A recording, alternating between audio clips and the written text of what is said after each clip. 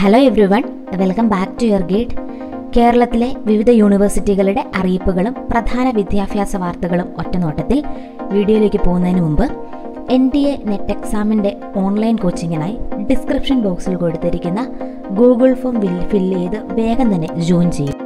വാർത്തകളിലേക്ക് പോകുന്നതിന് മുമ്പ് വീഡിയോ നിങ്ങൾ ആദ്യമായിട്ടാണ് കാണുന്നതെങ്കിൽ ഡെയിലി എഡ്യൂക്കേഷണൽ നോട്ടിഫിക്കേഷൻ നിങ്ങൾക്ക് നോട്ടിഫിക്കേഷനായി ഫോണിലേക്ക് ലഭിക്കേണ്ടതിന് വേഗം തന്നെ ഈ ചാനൽ സബ്സ്ക്രൈബ് ചെയ്യൂ ലൈക്ക് ചെയ്യൂ ഷെയർ ചെയ്യൂ. കേരള യൂണിവേഴ്സിറ്റി അനൗൺസ്മെന്റ് കേരള സർവകലാശാല വിദൂര വിദ്യാഭ്യാസ പഠന കേന്ദ്രം നടത്തിയ മൂന്നോ നാല് semester M S C computer science December രണ്ടായിരത്തി ഇരുപത് പരീക്ഷയുടെ ഫലം പ്രസിദ്ധീകരിച്ചു. വിശദ വിവരങ്ങൾ വെബ്സൈറ്റിൽ.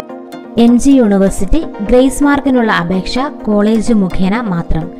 N C C N S S sports എന്നിവയുമായി ബന്ധപ്പെട്ട ഗ്രേസ് മാർക്കിനുള്ള അപേക്ഷകൾ ഇനി മുതൽ വിദ്യാർത്ഥികൾ അതാത് കോളേജിൽ പ്രിൻസിപ്പൽമാർ മുഖേന മാത്രം സർവകലാശാലയിലേക്ക് അയക്കേണ്ടതാണ്. ഇനി ഒരു അറിയിപ്പുണ്ടാകുന്നത് വരെ അപേക്ഷകളൊന്നും സെക്ഷനുകളിൽ നേരിട്ട് സ്വീകരിക്കുന്നതല്ല. കോവിഡ് കണ്ടെയ്ൻമെന്റ് സോൺ നിയന്ത്രണങ്ങൾ ഉള്ളതിനാലാണ് ഇത്തരത്തിൽ നിയന്ത്രണങ്ങൾ ഏർപ്പെടുത്തിയിട്ടുള്ളതെന്ന് വൈസ് ചാൻസലർ അറിയിച്ചു. മഹാത്മാഗാന്ധി സർവകലാശാല ഓഫീസുകളിലും പരീക്ഷാ ഭവനിലും വിദ്യാർത്ഥികൾ ഉൾപ്പെടെ സന്ദർശകർക്ക് കർശന വിലക്കാണ് ഏർപ്പെടുത്തിയിട്ടുള്ളത്.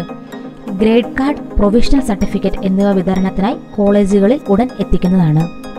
രണ്ടായിരത്തി ഇരുപത് മാർച്ചിൽ നടന്ന ഒന്നാം semester M com mercy chance പരീക്ഷയുടെ ഫലം പ്രസിദ്ധീകരിച്ചു. പുനർമൂല്യനിർണയത്തിനും സൂക്ഷ്മ പരിശോധനയ്ക്കുമുള്ള അപേക്ഷകൾ സെപ്റ്റംബർ ഇരുപത്തിനാല് വരെ ഓൺലൈനായി സമർപ്പിക്കാം.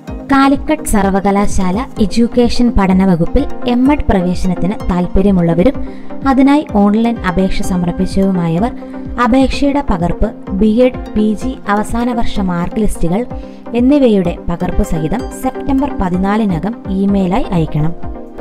കണ്ണൂർ സർവകലാശാല അനൗൺസ്മെന്റ്. കണ്ണൂർ സർവകലാശാലയിലെ അഫിലിയേറ്റഡ് കോളേജുകളിലെ പി ജി പ്രവേശനത്തിന് ഓൺലൈനായി അപേക്ഷ സമർപ്പിക്കുന്നതിനുള്ള സമയം ഇരുപത്തിനാല് ഒമ്പത് രണ്ടായിരത്തി വൈകുന്നേരം അഞ്ചു മണിവരെ നീട്ടിയിരിക്കുന്നു.